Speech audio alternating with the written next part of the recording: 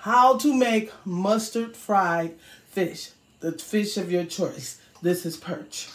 Put a little mustard and rub it together, all on your fish. I want to season with Lawry seasoning salt, onion powder, garlic powder, and black pepper. After done, after you're done seasoning, take and season your fish. It should look just like this. Dip this into our yellow cornmeal. Put four to five pieces of fish in a cup of cornmeal and put into heat or oil.